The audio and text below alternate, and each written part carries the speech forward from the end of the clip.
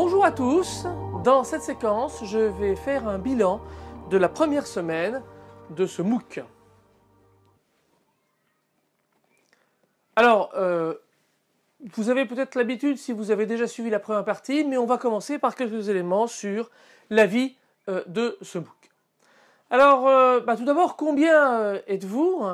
Le vendredi 8, quand j'ai fait le pointage, ce matin, donc, il y avait 1796 inscrits, 780 comptes créés avec au moins une connexion, donc ça fait plus 72 par rapport à ce qu'il y avait à la fin du premier MOOC. Sachant qu'il euh, y a un certain nombre de gens euh, qui ont fait euh, le MOOC de la première partie, qui ont également fait le MOOC de la deuxième partie, c'est un petit peu moins de la moitié.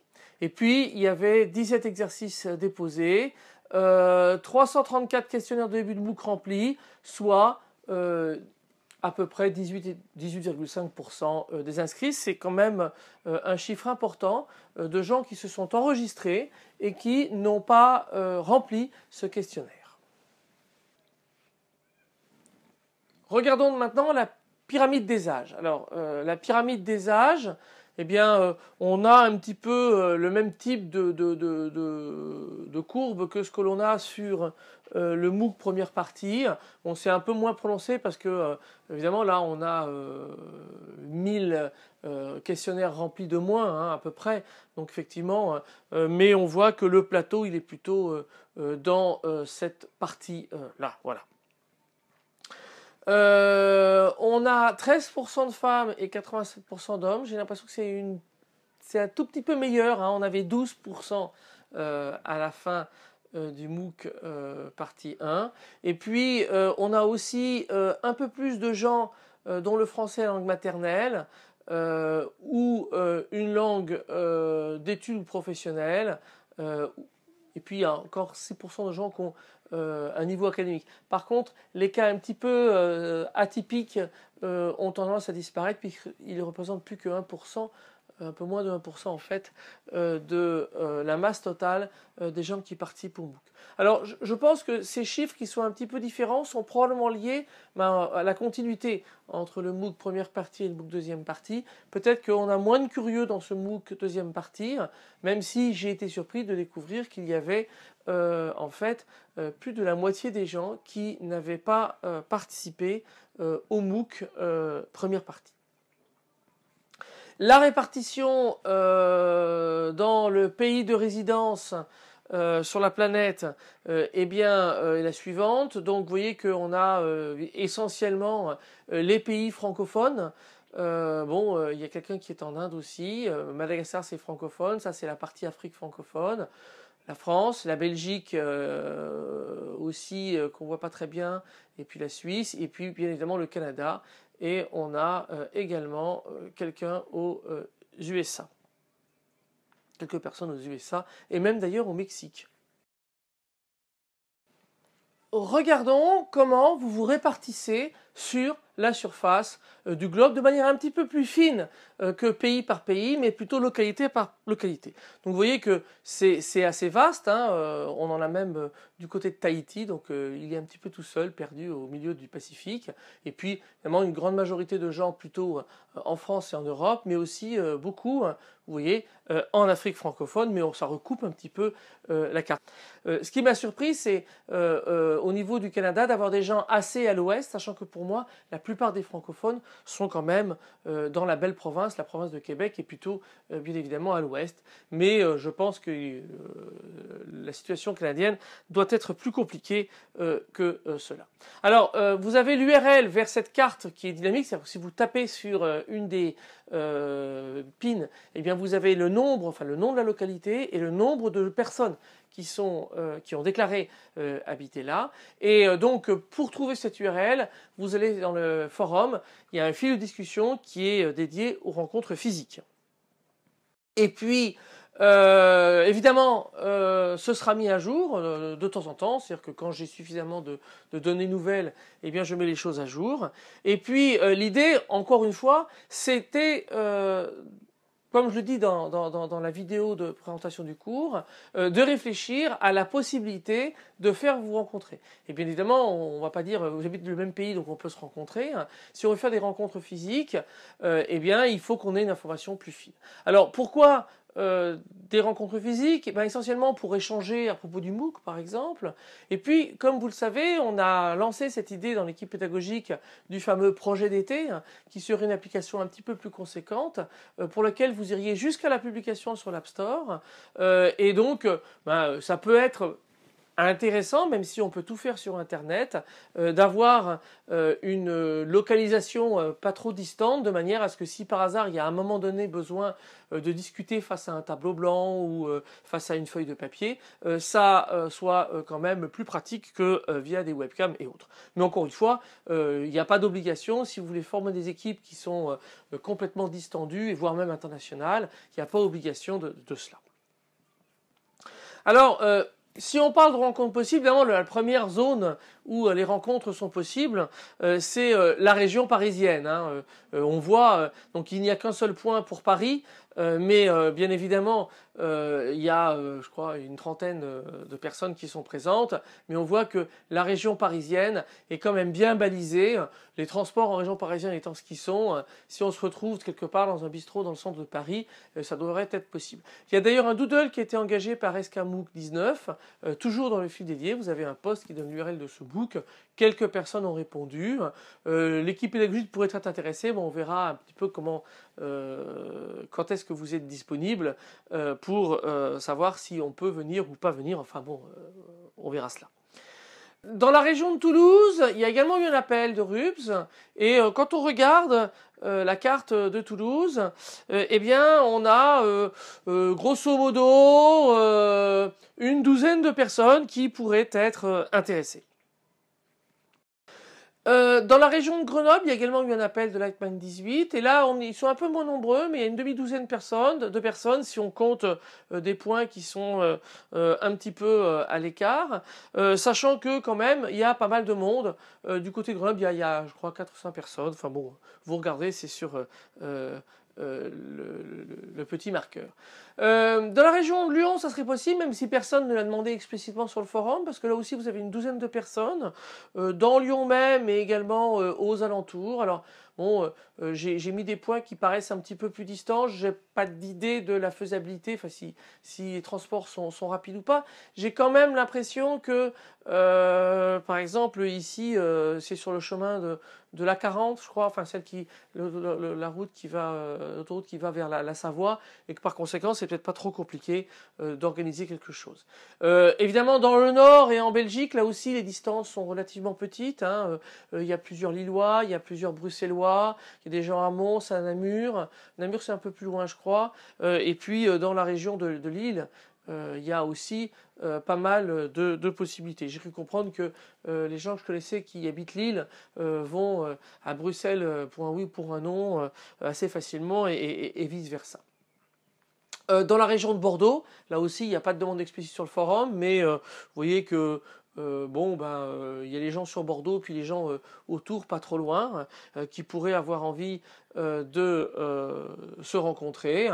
Euh, et puis euh, dans la région de Strasbourg également, il y a une demi-douzaine de personnes. Euh, encore une fois, là, on parle des gens qui ont rempli le questionnaire, il y a peut-être d'autres qui ne sont pas encore déclarés hein, et qui pourraient être intéressés par de telles rencontres. Alors, pourriez-vous vous rencontrer dans d'autres lieux? Ben, en fait, si on regarde les choses ville par ville, d'abord on observe que, eh bien, bon, en Paris je dis 30, mais en fait on est un peu plus de 30, vous voyez, mais il y a un certain nombre de, de, villes euh, qui ont euh, une population de, de euh, relativement importante. Il y a même eu un appel du côté de Dakar, vous voyez, où on a une douzaine de personnes. Donc si vous avez envie de travailler à plusieurs, ça peut être aussi relativement sympa. Vous pouvez aussi partager, s'il y a des problèmes de, de, bande passante, vous pouvez aussi partager le téléchargement des vidéos. vous avez également des endroits où il y a un petit peu moins de monde, du côté de Montpellier, Caen, Nancy, Bruxelles, Constantine, Casablanca. Blanca, Lomé, etc. Donc là aussi, il y a plein d'endroits euh, où euh, c'est possible. Évidemment, euh, plus on aura de questionnaires remplis, plus ces choses-là seront possibles. Et je vous rappelle qu'il y a donc deux, deux enjeux. Le premier enjeu, c'est que vous travaillez ensemble. Et le deuxième enjeu, c'est l'idée du, du, projet. Encore une fois, c'est pas nécessaire que vous soyez tous localisés au même endroit. Je pense que c'est quand même juste plus pratique que s'il y a euh, plusieurs milliers de kilomètres de distance. Donc, on peut espérer que euh, dans les gens qui vont remplir euh, des questionnaires, à partir de maintenant, ben, on va avoir un petit peu plus d'informations. et encore une fois, je mettrai les choses à jour. Si on regarde l'activité au niveau de visionnage des vidéos, ben voyez ce que ça donne là pour l'instant. Donc euh, on retombe sur quelque chose qui ressemble à ce qu'on a eu euh, euh, lors du MOOC première partie puis du MOOC 2014. C'est-à-dire qu'il y a un pic en général au moment où la vidéo est publiée. là, c'est, on va voir si ça se prolonge. C'était pas évident parce que pour l'instant c'est un petit peu. Alors là, le pic, vous voyez, il est lundi, mais la, la vidéo ici était publiée un dimanche. Bon, ceci explique peut-être cela. Là, la vidéo a été publiée mercredi, le jour des enfants, et pourtant, euh, il y a un gros pic qu'on est en milieu de semaine. Et vous savez qu'à partir de la fin euh, de la semaine 2, qui est une deuxième longue semaine, on va se cadrer sur les vendredis.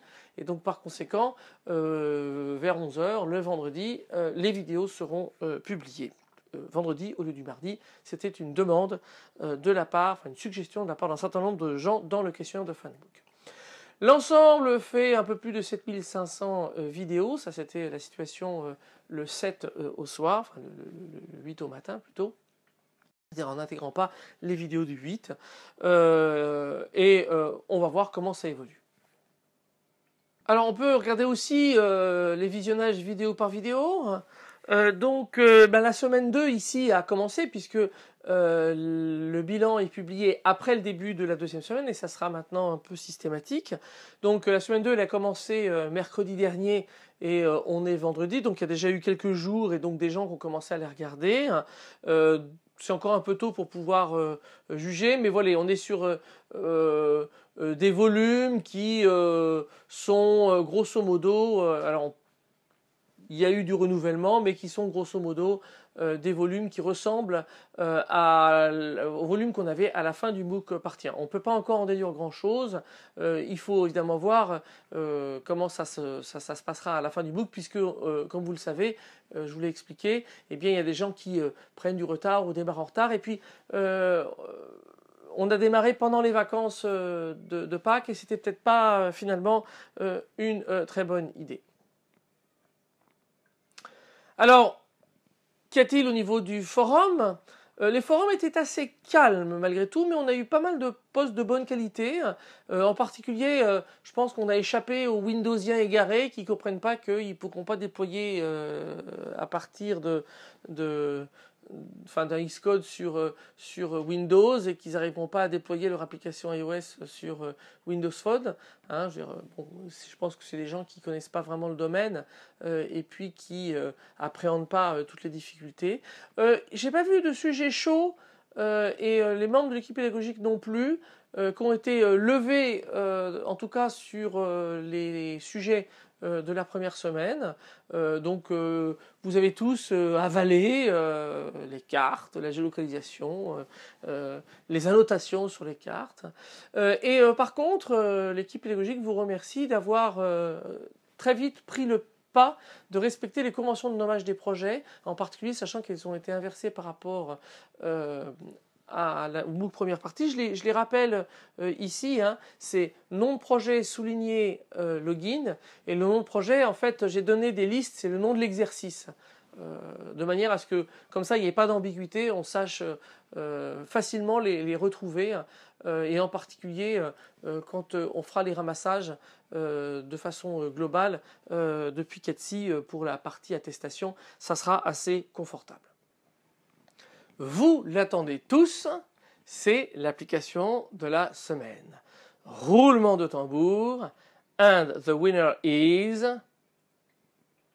Alix Martinet avec une très belle application.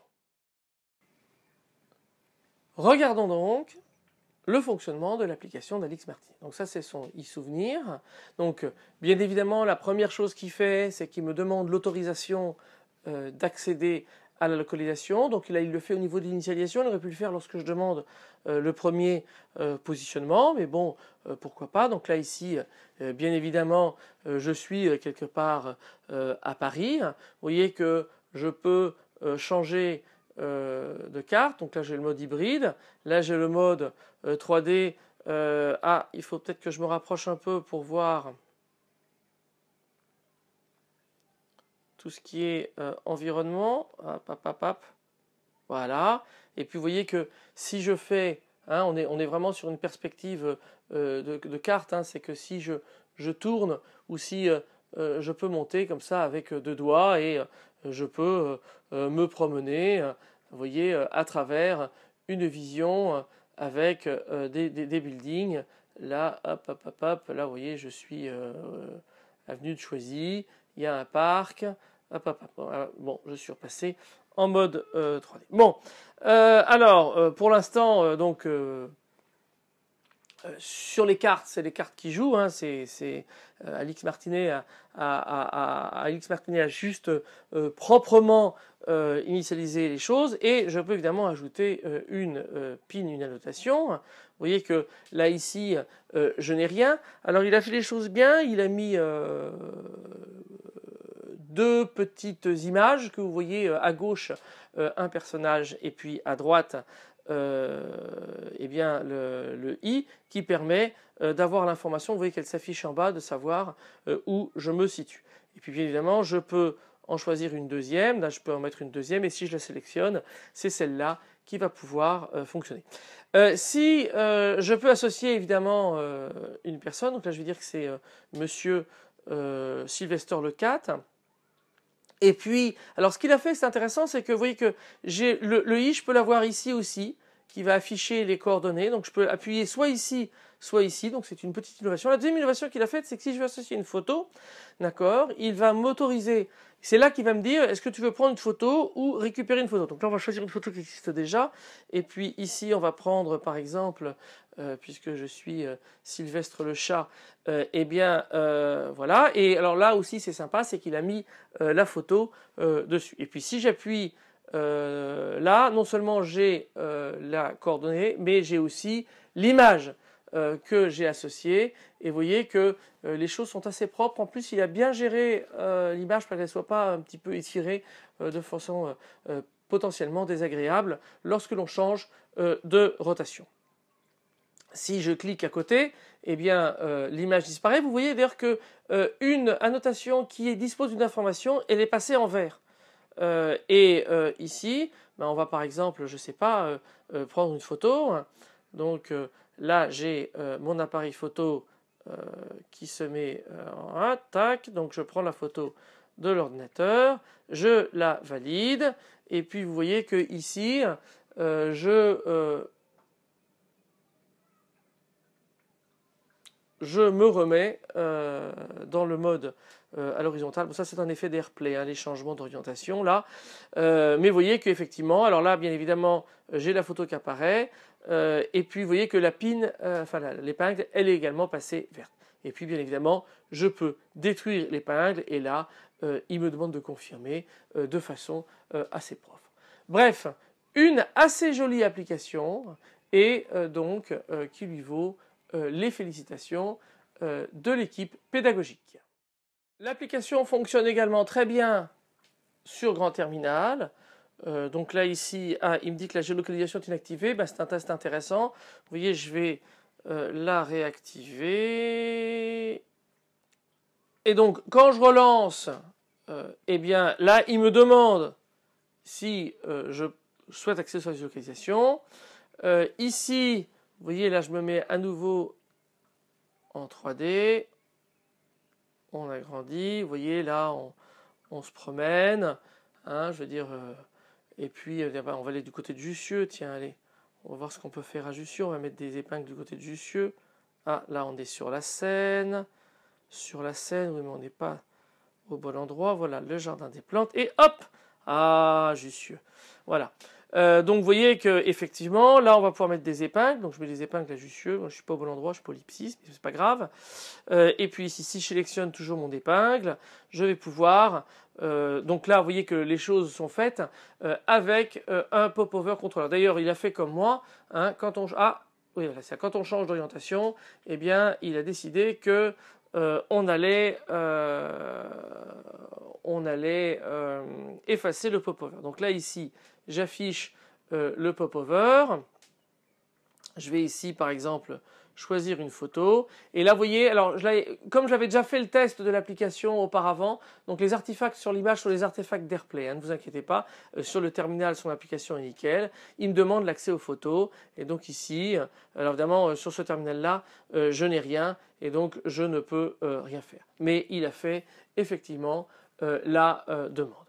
Et puis bien évidemment, je peux avoir la vue satellite. Euh, vous voyez ici, euh, je peux euh, l'épingle, je peux en rajouter une. si j'accède je la sélectionne, pardon, j'accède au carnet d'adresse, ma même topo là, j'ai pas de contact, mais ça apparaît bien dans un popover controller. Et ici, alors le annuler n'est pas nécessaire quand on est dans un popover controller, puisque vous voyez, il suffit de taper à l'extérieur euh, pour que euh, cela fonctionne. Ben voilà, une bien belle application et encore une fois, bravo à Aelix Martinet. Notons que en plus le code est assez bien commenté, donc euh, allez sur le fil dédié à la remise de ce e-souvenir et puis vous pouvez aller regarder son code sans hésiter. Il y a d'autres cas qui sont intéressants. Euh, alors d'autres applications avec lesquelles on a hésité, c'est ce que j'appelle les nominés. Euh, alors le, premier c'est euh, F. Girardin qui a un code qui est bien commenté, des injonctions sympas, en particulier des pins qui sont, enfin des, annotations qui sont dont l'apparence est personnalisée. c'est pas mal du tout.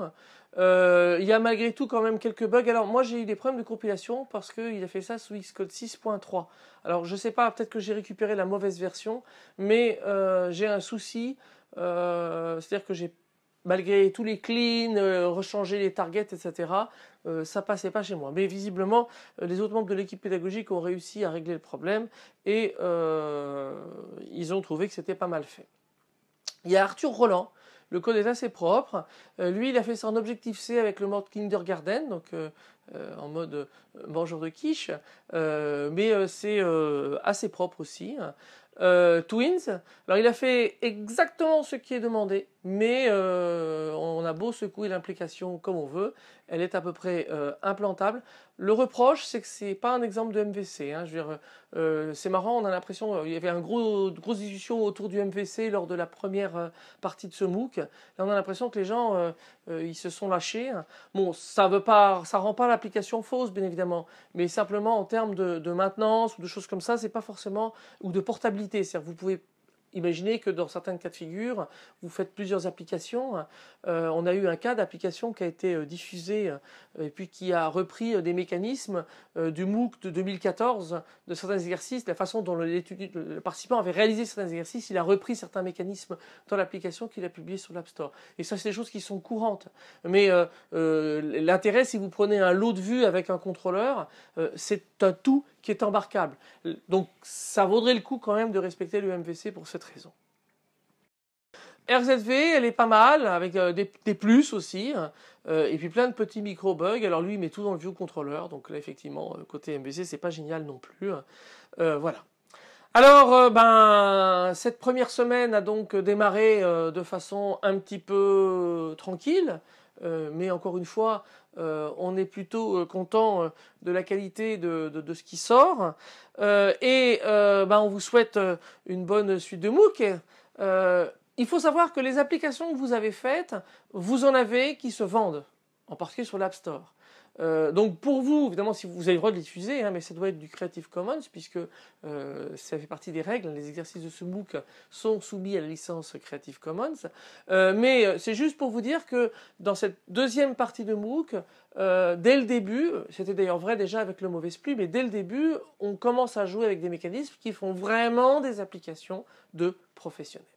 La semaine prochaine, euh, je vous laisserai avec un exercice qui s'appelle Mes activités, qui est aussi un petit peu plus conséquent, euh, qui est en fait un gestionnaire de tâches comme il y en a tant, enfin un mini, hein, je veux dire, mais vous avez les bases euh, d'un bon gestionnaire de tâches, et qui vous permettra de souffrir autour des UI, view, des UI Navigation Controller, les Table View Controller, les Split View Controller, et les tab bar controllers, enfin tout ça. Bref, et euh, euh, en l'honneur euh, du Star Wars Day qui était il n'y a pas tellement longtemps, eh bien je peux vous dire ben, que iOS soit avec vous. Voilà, autre tradition, c'est le bateau du jour. Donc là, on va se lancer dans les navires qui ont fait euh, de très grandes distances, puisque j'espère que les compétences que vous acquérerez avec ce MOOC euh, vous feront un long usage. Euh, et donc on va parler du Bounty. Alors Bounty, il est très très célèbre, le Bounty ou la Bounty, il faudrait que les Anglais, les Anglais ils ont le féminin, le masculin et le neutre, et le seul objet qui échappe au neutre, c'est le bateau, hein, qui est féminin. Euh, donc en fait, le Bounty, euh, c'est un navire qui est extrêmement célèbre à cause de cette émeute. Vous savez que c'était un bateau qui avait été une expédition scientifique envoyée par euh, l'Angleterre pour aller récupérer du côté de Tahiti des arbres à pain dont on pensait que les fruits permettraient de résoudre des problèmes de famine potentiels. Et puis, ils étaient sous, le navire était sous le commandement du capitaine Bligh, donc ils ont essayé de passer d'abord par le Cap Horn, ils n'ont pas réussi. Euh, et après, je crois avoir essayé pendant 20 jours, enfin un truc terrible. Et puis finalement, ils sont passés par euh, le sud, euh, le, enfin le sud, au, sud, mais ils sont repassés en repassant par l'est. et puis ils sont arrivés sur place. Et puis finalement, bah, il y a eu peu après le retour, je crois, enfin peu après le début du voyage de retour, un, une, une, mutinerie. Et cette mutinerie, on voit ici la scène où le capitaine Blight et puis une partie de l'équipage ont été lâchés à bord d'un canot de sauvetage tandis que le Bounty euh, partait. Alors il faut savoir que euh, les mutineries étaient punies de façon extrêmement euh, violente et que donc le bateau est allé se planquer dans une île, je crois que cette île s'appelle Pitcairns, où d'ailleurs ils l'ont brûlé, les, enfin les, les l'équipage restant euh, l'ont brûlé de manière à ce que euh, eh bien, ils puissent pas faire machine arrière. Et en fait, euh, on, a, on est tombé sur les, les, les, restes de, des, des, mutins. je crois qu'il restait plus qu'un homme d'équipage. Ils étaient repassés par les îles du côté de Tahiti pour embarquer des gens avec qui ils avaient ils s'étaient liés et qu'en fait, bah, ils restaient donc dans cette île euh, une communauté, mais à peu près tous euh, les euh, mutins étaient décédés, et en particulier leur chef de file, qui était le premier lieutenant, le fameux Christian Fletcher. Voilà, alors là on est une autre représentation d'une maquette plus, plus, exacte de Bounty. Hein, C'était une corvette, donc on voit bien, hein, c'est typique d'un bateau euh, du XVIIIe siècle, avec ici une voile de brigantine, et puis une poupe et une proue très très très légère. C'est un bateau avec euh, un, seul pont, hein, il n'y a pas vraiment de, gaillard euh, sur ce navire-là. Voilà, et bien là-dessus, je vous souhaite une bonne semaine et je vous remercie pour votre attention. À bientôt.